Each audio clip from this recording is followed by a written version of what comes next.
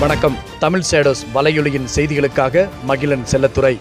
நபி அவர்களின் பிறந்தநாள் விடுமுறையான அக்டோபர் பதினெட்டை அக்டோபர் இருபத்தி ஒன்று வரும் வியாழக்கிழமை அதிகாரப்பூர்வ அரசு விடுமுறையாக குவைத் அமைச்சர்கள் குழு மாற்றி அமைத்துள்ளது. வாரத்தின் இடையே வரும் விடுமுறை தினங்களை அடுத்த வியாழக்கிழமைக்கு மாற்றுவதற்கான முன்பிருந்த சபை உறுப்பினர்களின் முடிவின் அடிப்படையில் இந்த விடுமுறை விடப்பட்டுள்ளது என்று செய்திகள் தெரிவிக்கின்றன. குவைத்தில் அரபு நாட்டைச் சேர்ந்த ஒரு குடிமகன் தனது மனைவி மகன் மருமகள் என அனைவரும் ஒரே வீட்டில் கூட்டு குடும்பமாக வசித்து வந்துள்ளனர். தங்கள் வீட்டில் உள்ள பெண்கள் கணவர் இல்லாமல் வெளியில் எங்கும் செல்லக்கூடாது என்ற கட்டுப்பாட்டை விதித்துள்ளனர். இந்நிலையில் மனைவியும் மருமகளும் வீட்டிற்கு தேவையான சில பொருட்களை வாங்குவதற்காக கூட்டுறவு சங்கத்திற்கு சென்றுள்ளனர். அனுமதியின்றி வீட்டை விட்டு வெளியதற்கான தண்டனையாக தந்தையும் மகனும் தங்கள் மனைவிகளை அடித்துள்ளனர். கடும் கோபமடைந்த தந்தை மகன் இருவரும் தங்கள் மனைவிகளை மன்னிக்க மறுத்து கடுமையாக தாக்கியுள்ளனர். இதனால் அந்த இரு பெண்களுக்கும் பலத்த காயங்கள் ஏற்பட்டுள்ளதாக மருத்துவர்களால் மருத்துவ அறிக்கை வழங்கப்பட்டுள்ளது. இந்த சம்பவத்தை குடும்ப வன்முறை வழக்காக சம்பந்தப்பட்ட அதிகாரிகள் பதிவு செய்துள்ளனர். சட்ட நடைமுறைகளை முடிக்க தகுதி வாய்ந்த அதிகாரிகளால் இந்த சம்பவத்தை விசாரித்து வருகின்றனர் என்று உள்ளூர் செய்திகள் தெரிவிக்கின்றன. குவைத்தில் உணவு பாதுகாப்பு துறையில் பணிபுரிய வணிக நிறுவனங்களுக்குள் நுழைவதற்கான அனுமதி விசாக்களுக்கான கட்டுப்பாடுகளை விளக்க கொரோனா நோய் தொற்று அவசர நிலை குறித்த அமைச்சரவை குழு முடிவு செய்துள்ளது.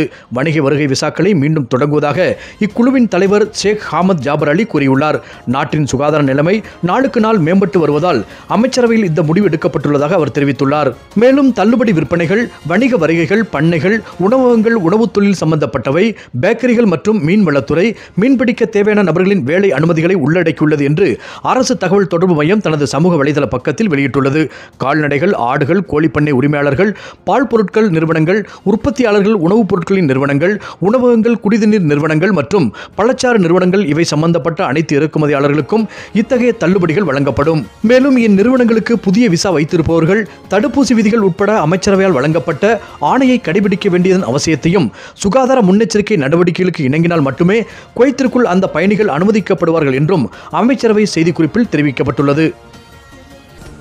குவைத்தில் ஆரம்ப விசாரணை விண்ணப்பம் அமல்படுத்தப்படுவதால் குவைத் சர்வதேச விமான நிலையம் வழியாக நாட்டை விட்டு வெளியேறும் பயணிகளுக்கு புதிய கட்டணம் விதிக்கப்படும் என போக்குவரத்து இயக்குநரகம் தெரிவித்துள்ளது.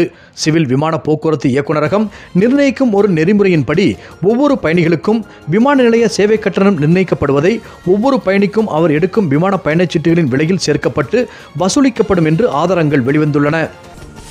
குவைத் ரெட் கிரசன்ட் சொசைட்டி குவைத்தில் உள்ள ஏழை குடும்பங்களின் குழந்தைகளுக்கு இருநூறு பள்ளி பைகள் மற்றும் பள்ளிக்கு தேவைப்படும் பொருட்களை விநியோகித்துள்ளனர்.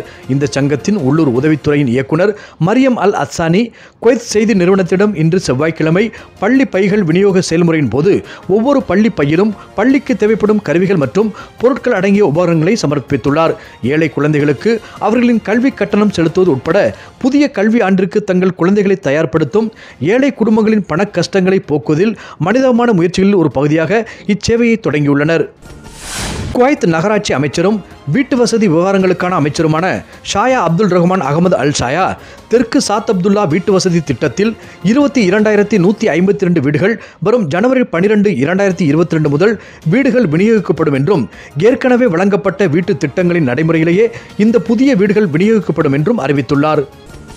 குவைத் குடிமக்கள் மற்றும் குடியிருப்பாளர்களிடையே கொரோனா தொற்று நோயிலிருந்து பாதுகாக்க ஃபைசர் தடுப்பூசியின் மூன்றாவது அல்லது பூஸ்டர் டோஸிற்கான தேதிகளை முடிவு செய்து மக்களுக்கு குறுஞ்செய்திகளாக சுகாதார அமைச்சகம் அனுப்ப தொடங்கியுள்ளது. சுகாதார அமைச்சகம் ஏராளமான குவைத் குடிமக்களுக்கு மூன்றாவது டோஸை கொடுத்து முடித்துவிட்டது மற்றும் ஏற்கனவே அறிவித்தபடி குறிப்பிட்ட வயதினருக்கான வெளிநாட்டவர்களுக்கு மூன்றாவது டோஸை கொடுக்க ஆரம்பித்து விட்டதாக அமைச்சகம் தெரிவித்துள்ளது. இன்றைய தங்கத்தின் விலை மற்றும் பணமதிப்பின் நிலவரம். ஒரு கிராம் தங்கம் இருபத்தி நான்கு கேரட் பதினேழு தினார் நூறு ஃபில்ஸ் ஒரு கிராம் தங்கம் இருபத்தி இரண்டு கேரட் பதினாறு தினார் அறநூறு ஃபில்ஸ் பணமதிப்பின் நிலவரம். இந்தியாவின் பணமதிப்பு இரநூற்றி நாற்பத்தி நான்கு ரூபாய் எழுபத்தி ஒன்பது காசுகள். இலங்கையின் பணமதிப்பு அறுநூற்றி ஐம்பத்தி ஏழு ரூபாய் எண்பத்தி ஒன்பது காசுகள். எங்கள் செய்திகள் உடனுக்குடன் உங்களை வந்தடைய தமிழ் ஷாடோஸ் யூடியூப் சேனலை சப்ஸ்கிரைப் பண்ணுங்க. லைக் பண்ணுங்க கமெண்ட் பண்ணுங்க ஷேர் பண்ணுங்க. மறக்காம பெல் ஐக்கான கிளிக் பண்ணுங்க.